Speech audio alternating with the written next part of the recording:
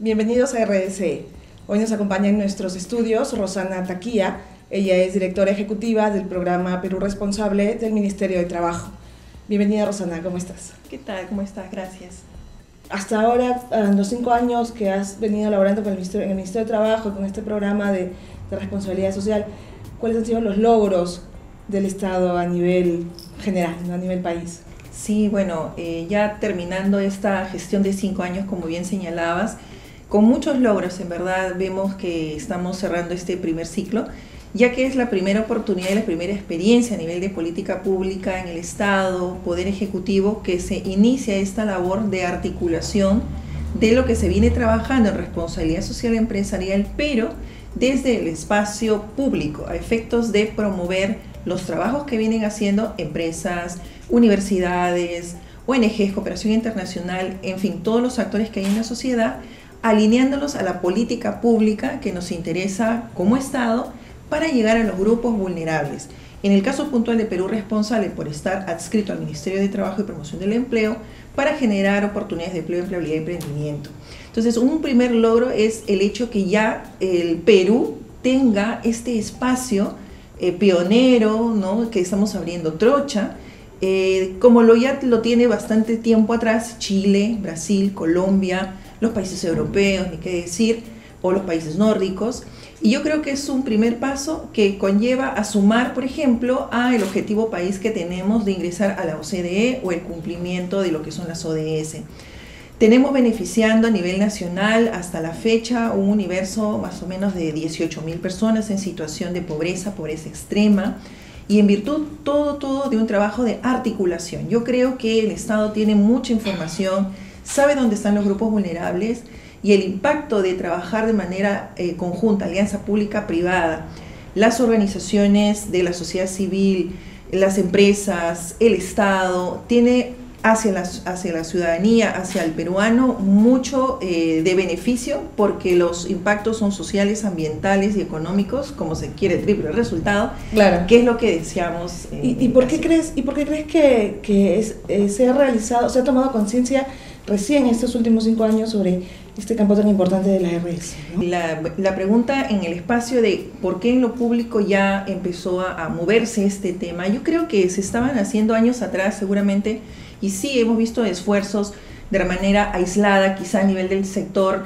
extractivo, Ministerio de Energía y Minas, por ahí el tema de educación, pero hablar del tema de responsabilidad social eh, empresarial o incluso hablar del desarrollo sostenible dentro de un Perú, eh, dentro de un país, el Perú, que además está abriéndose en los últimos eh, 15 años y sobre todo con más fuerza estos últimos años a la inversión extranjera, a, abrirse a nuevas eh, organizaciones y tratados de libre comercio, a tener vallas más altas que quiere cruzar, como ingresar a la, a la lista, al grupo de los países de la OCDE, hace que el Estado también tenga una mirada moderna, implica que también los funcionarios públicos mm, tenemos otra manera de hacer gestión pública y por tanto nos abrimos a, ver qué está ocurriendo también afuera que pueda ser también de replicable en nuestro país porque vemos que va a llegar finalmente a la finalidad que, deseamos, que es el servir, que es el poder llegar a todo el país con los servicios básicos y, y fundamentales que tiene todos, todo, todo persona.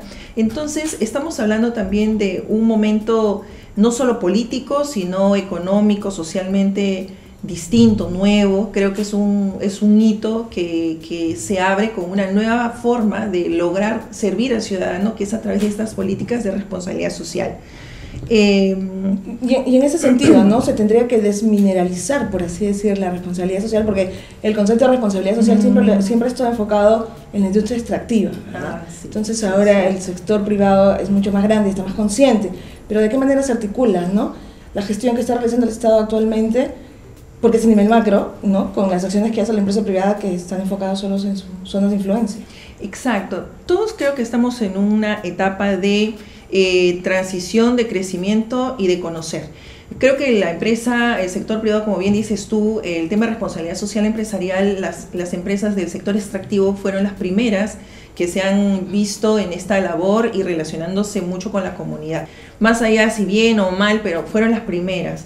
Y hoy por hoy, después de varios años en este trabajo, y a la luz de las experiencias internacionales y lo que se está comprometiendo el Perú en cumplir, vemos que el tema no solamente es el tema ambiental, sino es un tema eh, de ser responsable socialmente, en el que el Estado cumple la función de ser promotor, incentivador también, articulador, y la empresa tiene no solamente que trabajar desde una esquina que puede ser el ámbito de orden extractivo, sino también, por supuesto, en lo que es el sector servicios, en lo que es el sector educativo, en fin, todos los, todos los ámbitos del, sector eh, empresarial u organizaciones en general mm, pueden tener prácticas de responsabilidad social y no solamente mirarlo incluso a la gran empresa, también perfectamente la mediana y pequeña formal ingresa en este espacio de trabajar con responsabilidad social en la mirada de hacer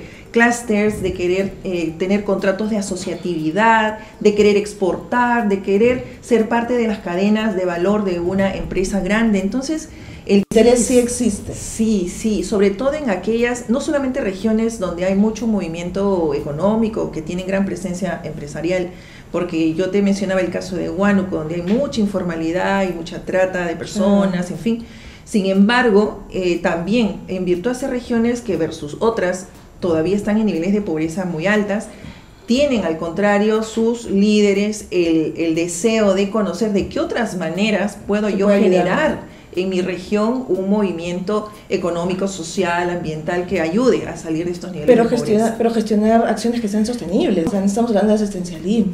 Sí, bueno, el concepto de responsabilidad social implica eh, eh, como conocemos muchos, ¿no?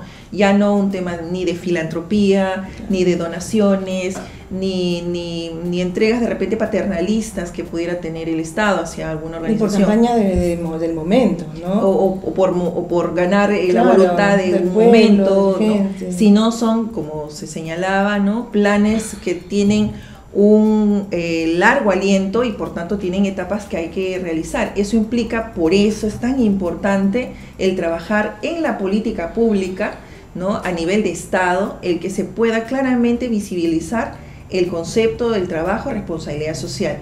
Tenemos un concepto de responsabilidad social para empezar. En el ámbito privado encontramos muchos y o que muchas veces el concepto está por acá y la práctica está en otro lado.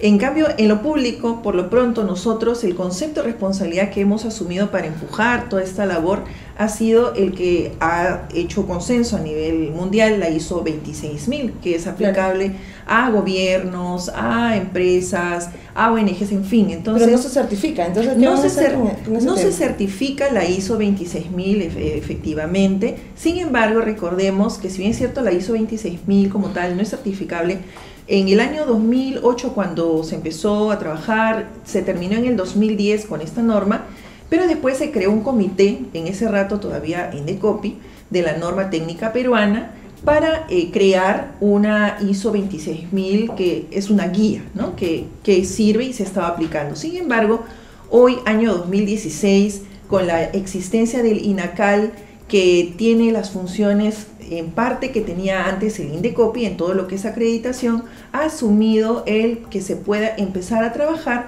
un subcomité para eh, generar y crear juntos una norma técnica que sí es certificable y que en responsabilidad social y que sería aplicable tanto a una organización pública como privada.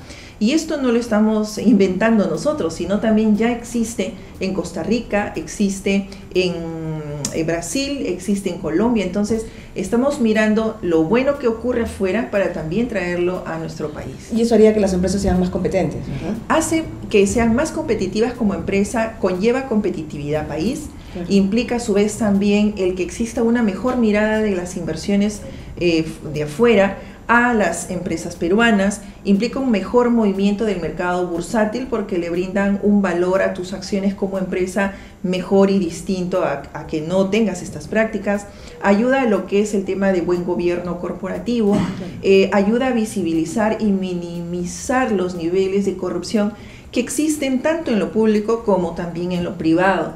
Entonces, yo creo que todos los beneficios eh, se dan con el tema de la certificación y sobre todo suman, en el caso de nosotros, muy interesados en cómo sumar a los objetivos eh, de Estado. Es el tema de que logramos también implementar en una parte lo que es el plan país, el ingresar a la OCDE más adelante y a su vez ayuda para que las organizaciones demuestren y prueben que están cumpliendo las, las 17 ODS o alguna de las ODS. Entonces, eh, es muy favorable.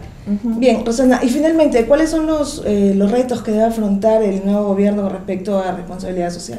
Sí, como tal, bueno, hemos tenido la oportunidad de revisar, como todos, porque es una información pública, el plan de gobierno que tiene Pedro Pablo Kuczynski. Y como tal, de repente dentro del texto de, de su plan de gobierno no encontramos literalmente responsabilidad social empresarial. Sin embargo, cuando uno lee las, mm, las, justificaciones, los sustentos, encontramos de todas maneras en lo que es el tema de gobernabilidad, a su vez también en lo que es la política de orden internacional que va a continuarse del Perú, eh, el tema de avanzar en todos los trabajos que se está haciendo para lograr un desarrollo sostenible, niveles bajos de niveles bajos y nivel cero de lo que es corrupción, el hecho de la política que muy fuerte que señalan que van a implementar en los centros juveniles para que se eh, generen espacios, talleres productivos y que hoy por hoy se está haciendo, pero muy de repente, mm, no muy conocido todavía, pero creo que siendo tan importante el combatir todos, no solamente el Estado, sino de la mano con el privado, el tema de la delincuencia, el tema de la zozobra que vivimos todos en el país, va a ser también ahí las prácticas de responsabilidad eh, social fundamentales, porque eh, también a su vez en los temas de orden ambiental, por supuesto, donde se ha avanzado mucho estos años, eh, hemos visto también la, la, política que continúa muchas de estas cosas buenas que se han estado haciendo. Entonces, no vemos de que se corte en absoluto. Creo que es un plan que trata de mirar cómo integrar más al Perú a la inversión, a las nuevas políticas eh, que se están implantando en el mundo y en ese sentido, pues el tema de responsabilidad social es una manera moderna de hacer Estado. Entonces, de la mano estaría, eh, de hecho, en muchos de los eh, tips, planes, temas que ha abordado el plan de gobierno de Pedro Pablo. Bien. Rosana, muchísimas gracias por, por estar aquí. El tema ha sido muy, muy interesante. Espero que nos puedas acompañar en una próxima edición para seguir conversando porque hay muchísimos temas más de qué conversar. Las OCDE, por ejemplo, del ingreso de, del país, del Perú a esta organización mundial. Bien. Muchísimas gracias, al contrario, y bueno, invitarlos también a que puedan trabajar con nosotros en el programa Perú Responsable en el Ministerio de Trabajo y Promoción del Empleo, empresarios, universidades, ONGs, cooperación internacional. Estamos muy interesados en seguir creciendo y trabajar juntos por un eh, Perú mejor, más inclusivo y con mayor cohesión social. Gracias Rosana por acompañarnos. Eh, nos vemos en la siguiente edición de RSTV.